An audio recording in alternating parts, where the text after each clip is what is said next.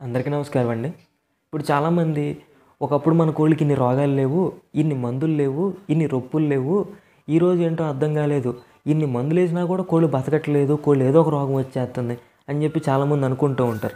అసలు దీని వెనకున్నటువంటి రీజన్ ఏంటి? ఎందుకు మెడిసిన్ పనిచేయట్లేదు ఈ వీడియోలో నేను చెప్పే ప్రయత్నం చేస్తాను. ఫస్ట్ బేసిక్గా మనం వాడేటువంటి యాంటీబయాటిక్స్ వర్కౌట్ అవ్వకపోవటానికి కారణాలు రెండు ఉన్నాయి. ఒకటి థియరీ ఆఫ్ ఎవల్యూషన్ అంటే జీవ పరిణామక్రమ సిద్ధాంతం అయితే రెండవది ఓవర్గా యాంటీబయాటిక్ యూజ్ చేయటం. ఓవర్గా యాంటీబయాటిక్ యూజ్ చేస్తే ఏమవుతుందో అందరికీ తెలుసు. దాని గురించి ఇప్పుడు నేను కొత్తగా చెప్పాల్సిన అవసరం లేదు. అందరికీ తెలిసిన విషయం అది మొదటిది జీవ పరిణామక్రమ సిద్ధాంతం అంటే థియరీ ఆఫ్ ఎవల్యూషన్ అంటే ఏంటి అసలు? దానికి యాంటీబయాటిక్లకి దానికి కోడికి దానికి బ్యాక్టీరియాకి లింక్ ఏంటి? మీరు ఎప్పుడన్నా ఆలోచించుకున్నట్లయితే థిరీ ఆఫ్ ఎవల్యూషన్ అంటే ఏంటంటే బేసిక్గా ఒక జీవి. అంటే ఇప్పుడు సపోజు కోళ్ళ గురించి బ్యాక్టీరియాల గురించి చెప్తే ఇక్కడ మీకు అర్థం కాదు. మనుషుల గురించే చెప్తాను. ఇప్పుడు సపోజ్ మన తాతల జనరేషన్ ఉంది. తర్వాత మన తండ్రులు అంటే మన ఫాదర్స్ జనరేషన్ తర్వాత మన జనరేషన్ మనం చైల్డ్ జనరేషన్ మనం థర్డ్ జనరేషన్ కిందకు వస్తాం. సో ఈ మూడు జనరేషన్స్ మనం ఒకసారి పోల్చుకుంటే మన తాతల తరానికి వచ్చేటప్పటికి ఏ అనే యాంటీబయాటిక్ పనిచేసింది అనుకోండి ఒక బ్యాక్టీరియల్ ఇన్ఫెక్షన్కి. సేమ్ అదే బ్యాక్టీరియల్ ఇన్ఫెక్షన్కి అదే ఏ అనే యాంటీబయాటిక్ మనకు పనిచేయదు. ఎందుకు పనిచేయదు అంటే ఆ రోజు ఎఫెక్ట్ అయినటువంటి ఒక బ్యాక్టీరియా ఏదైతే ఉందో ఆ వ్యాధి కారకమైనటువంటి బ్యాక్టీరియాకి ఏ అనే యాంటీబయాటిక్ పనిచేసింది. సో మనిషితో పాటు జీవ సిద్ధాంతంలో మనిషితో పాటు ఆ బ్యాక్టీరియా కూడా డెవలప్ అయింది. ఖచ్చితంగా భూమి మీద ఉన్నటువంటి జీవులన్నిటిల్లో తొంభై తొమ్మిది పాయింట్ తొమ్మిది తొమ్మిది శాతం కాలం గడిచే కొద్దీ వాటి యొక్క ఏమంటారంటే వాటి యొక్క శరీరాకృతిని కావచ్చు ఇమ్యూన్ సిస్టమ్ని కావచ్చు డెవలప్ చేసుకున్నాయి.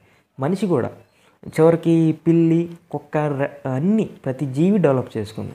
అదే కాలంలో ఇక్కడ మనకు బ్యాక్టీరియా కాబట్టి బ్యాక్టీరియా అనేది దాని యొక్క ఇమ్యూన్ సిస్టమ్ని అది డెవలప్ చేసుకుంది. ఆ రోజు నుంచి ఈ రోజు వరకు. సో ఆ రోజు చేసినటువంటి యాంటీబయాటిక్ అనేది ఏ యాంటీబయాటిక్ మన తాతకి ఇచ్చినప్పుడు ఆ యాంటీబయాటిక్ అనేది ఆ బ్యాక్టీరియా యొక్క ఇమ్యూన్ సిస్టమ్ డ్యామేజ్ చేసేసింది. సో అది ఆ రోజు పనిచేసింది. ఇక్కడ మన దగ్గరకు వచ్చేటప్పటికి ఇప్పుడు మనకి ఎఫెక్ట్ అయింది కూడా సేమ్ అదే బ్యాక్టీరియా. కానీ ఇప్పుడు మనం సేమ్ అదే డ్రగ్ ఇస్తున్నప్పుడు ఆ బ్యాక్టీరియా అనేది ఆ ఇమ్యూన్ సిస్టమ్ని ఏమీ చేయలేకపోతుంది. బ్యాక్టీరియా యొక్క ఇమ్యూన్ సిస్టమ్ని ఏమీ చేయలేకపోతుంది. కాబట్టి తగ్గటం లేదు. సేమ్ ఇదే ఇదే నేను చెప్పినటువంటి ఈ ప్రాసెస్సే కోడిలో కూడా. ఒకప్పుడు ఎప్పుడో ఇరవై పది సంవత్సరాలు ఒక ఇరవై సంవత్సరాల క్రితం టెరామైసిన్ ట్యాబ్లెట్ పెన్సిలిన్ ట్యాబ్లెట్లు చాలా బాగా పనిచేసినాయి. అప్పుడు ఎఫెక్ట్ అయినటువంటి బ్యాక్టీరియల్ ఇన్ఫెక్షన్స్కి. ఇప్పుడు పనిచేయట్లేదు. ఇప్పుడు పనిచేయట్లేదు అందుకే కదా మనం ఇన్ని రకాల యాంటీబయాటిక్లు వాడుతున్నాం. మీకు అర్థం కావాలంటే పెన్సిలిన్ క్లాస్ యాంటీబయాటిక్లు అంటే పెన్సిలిన్ ట్యాబ్లెట్ తీసుకొచ్చి ఒక ట్యాబ్లెట్ అది రూపాయో అర్ధ రూపాయో ఉంటుంది ఆ ట్యాబ్లెట్ వేసేవాళ్ళు. అయిపోయేది. పెన్సిలిన్ కాదు tetracycline tetracycline class antibiotic. Tetracycline class antibiotic అంటే నాకు తెలిసి దీంట్లో ఉన్న డ్రగ్స్ చాలా ఉన్నా మనం కోళ్ళకి వాడేది మూడే మూడు. ఒకటి టెట్రాసైక్లిను. రెండు ఆక్సిటెట్రాసైక్లిను. మూడోది వచ్చేసి డాక్సిసైక్లిన్. ఇవి మనం కోడి పిల్లలకి వాడతాం. కోడి పిల్లలకి టెట్రాసైక్లిన్ పౌడర్ పెట్టినప్పుడు ఎన్ని సెట్ అవుతాయి ఎన్ని సెట్ అవ్వట్లేదు? మిమ్మల్ని మీరు ఒకసారి పరీక్ష చేసుకోండి. అండ్ ఈ రెండు పనిచేయటం లేదు. మరి ఈ డ్రగ్ వేరే డ్రగ్లోకి వెళ్ళిపోవాలిగా మనం? అలా వెళ్ళే క్రమంలో మనం వాడేటువంటి క్లాస్ యాంటీబయాటిక్స్ ఏమేమి వాడుతున్నాం అంటే ప్రజెంట్ ఎక్కువగా ఫ్లోరోక్వినోలిన్స్ క్లాస్ యాంటీబయాటిక్స్. అంటే మీకు ఇక్కడ క్లాస్ అనే విషయం చెప్పాలంటే ఇప్పుడు సపోజ్ మనం స్కూల్లో చదువు చదువుకొని వచ్చిన వాళ్ళమే మనం కూడా. ఇప్పుడు suppose tenth class ninth class ఉంది. నైన్త్ క్లాస్ అమ్మాయిలు ఎంతమంది?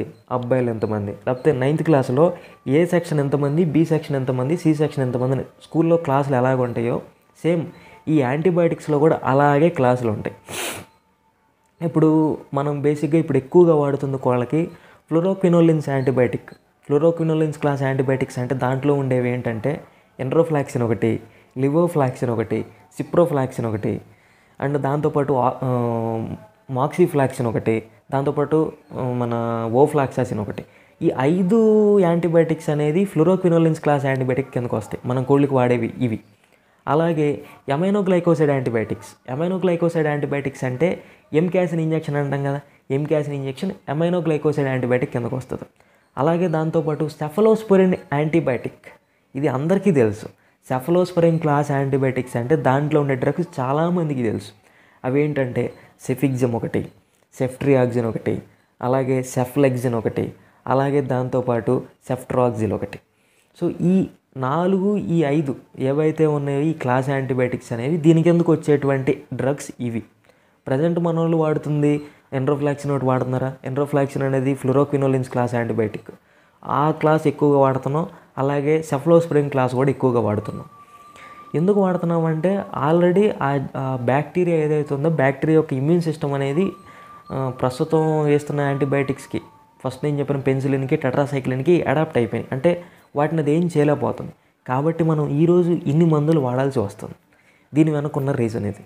అండ్ ఇంతేకాకుండా ఓవర్గా యాంటీబయాటిక్స్ వాడారనుకోండి మీరు ఓవర్గా యాంటీబయాటిక్స్ వాడితే ఏమైందంటే చిన్న చిన్న సమస్యలకు కూడా జలుబు చేసినా తుమ్ములు వచ్చినా ఏది వచ్చినా అలా ఎక్కువగా వాడటం వల్ల ఈరోజు కూడా మనం ఎక్కువగా యాంటీబయాటిక్లు వాడాల్సి వస్తుంది. అండ్ వేసిన మెడిసిన్ కూడా సరిగా వర్కౌట్ అవ్వట్లేదు. ఈ రెండు కారణాలు మెయిన్. ఇంకొక పాయింట్ నేను ఇక్కడ చెప్తాను. ఫస్ట్ ఇప్పుడు కోడి ఏదో విధంగా పారుతుంది. ఏదో సంథింగ్ ఇన్ఫెక్షన్ పొట్టలో ఏదో ఒక ఇన్ఫెక్షన్ వచ్చేసి గ్రీనిష్గా వైటిష్గా భయంకరంగా పారుతుంది. భయంకరంగా పారదనప్పుడు మన వాళ్ళు ట్యాగ్జిమ్ ఇంజెక్షన్ చేస్తారు. బేసిక్గా ఏ యాంటీబయాటిక్ అయినా ఐదు రోజులు మించి చేయకూడదు ఇంజెక్షన్స్ అనేవి. సో ట్యాగ్జిమ్ ఇంజెక్షన్ చేస్తున్నాం. ట్యాగ్జిమ్ ఇంజెక్షన్ చేసినప్పుడు వర్కౌట్ అవ్వట్లేదు. వర్కౌట్ అవ్వనప్పుడు కొంతమంది మోనోసెఫ్ చేయమంటారు. కొంతమంది ఎమికాసిన్ చేయమంటారు. నేనైతే ఎమికాసినే చేయమంటాను. మోనోసెఫ్ వద్దు అంటాను. ఎందుకు? ఎందుకు నేను మోనోసెఫ్ చెప్పను? ఇప్పుడు నేను చెప్పిన ట్యాగ్జిమ్ కానీ మోనోసెఫ్ కానీ రెండు ఒకే క్లాస్ యాంటీబయాటిక్లు మళ్ళీ. అవి cephalosporin class antibiotics Taxim Monocef రెండు ఆకో కిందకు వచ్చాయి. ఈ అమైనో గ్లైకోసైడ్ కిందకి ఎంకాసిన్ వస్తుంది? ఎందుకు నేను చెప్తాను? అదే నెక్స్ట్ వీడియోలో చెప్తాను. అండ్ ఇంకోటి ఇప్పుడు మనం కోళ్ళకి ట్యాబ్లెట్లని సిరప్లని ఇంజెక్షన్స్ అని వేస్తూ ఉన్నాం కదా ఇలా ఇన్ని వేస్లో మనం మెడికేషన్ వాడుతున్నప్పుడు ఏ వేలో మనం మెడికేషన్ చేస్తే లివర్ మీద ఎక్కువగా ఎఫెక్ట్ పడుతుంది? అనేది నేను రాబోయే రోజుల్లో వీడియోస్ చేస్తాను. నెక్స్ట్ వీడియోస్ రాబోయే వీడియోస్ అవే. దీని తర్వాత వచ్చే వీడియోస్ ఈ రెండు కంటెంట్ల గురించే ఉంటాయి. సో మరి అది పరిస్థితి. నెక్స్ట్ వీడియోలో మరొక టాపిక్ నేను ఆల్రెడీ చెప్పేశాను. గురించి మాట్లాడుకుందాం. వీడియో నచ్చితే ఖచ్చితంగా లైక్ చేయండి షేర్ చేయండి. ఎందుకంటే ఇలాంటి మెడిసిన్ గురించి తెలియని వాళ్ళు చాలామంది ఉన్నారు. ఈ విధంగా మెడికేషన్ పనిచేస్తుంది ఎలా వర్కౌట్ అవుతుంది అని చెప్పేసి. అండ్ నేను ఇక్కడ ఇంకొక విషయం చెప్పాలి. ఇందాక నేను జీవ పరిణామక్రమ సిద్ధాంతం అని చెప్పాను కదా. ఈ జీవ పరిణామక్రమ సిద్ధాంతం అనే దాన్ని ప్రతిపాదించింది చార్లెస్ డార్విన్ గారు. దీన్నే డార్విన్ సిద్ధాంతం అని కూడా అంటారు. సో ఇది పరిస్థితి.